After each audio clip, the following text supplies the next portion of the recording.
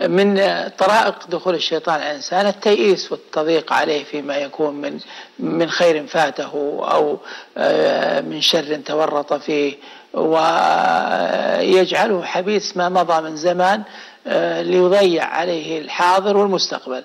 فينبغي الإنسان أن يفطن لهذا وأن يتوب إلى الله عز وجل من القصور والتقصير وأن يعلم أن ما أصابه لم يكن ليخطئه وما أخطأه لم يكن ليصيبه وأنه ينبغي له أن يجد ويجتهد في آه، إصلاح ساعته الحاضرة وعمارة قلبه بالنية الصالحة لما يستقبل من الزمان وبذلك تستقيم أحواله وتكون آه، أموره بعيدة عن آه، كيد الشيطان وتسلطه.